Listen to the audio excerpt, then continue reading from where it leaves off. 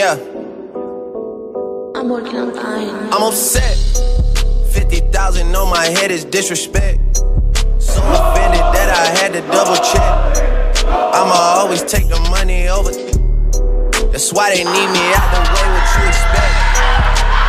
Got a lot of blood and it's cold. They keep trying to get me for my soul. Thankful for the women that I know. Can't go 50 50 with no.